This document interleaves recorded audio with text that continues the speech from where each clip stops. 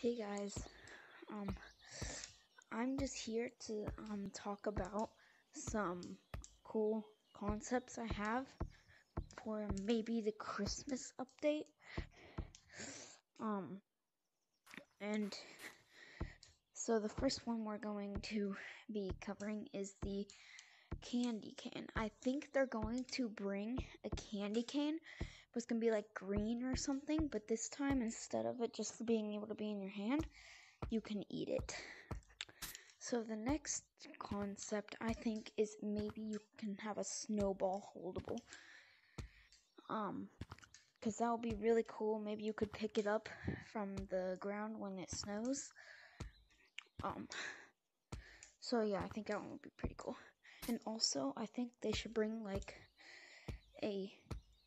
cool um, snowball slingshot. That would be really cool.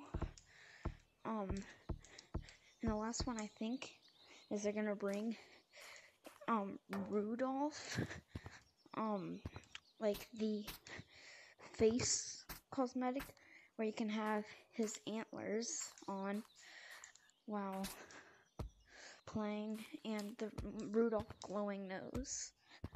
So those are some cool concepts I think that they might bring. You never know. The future is never been told, so you never know.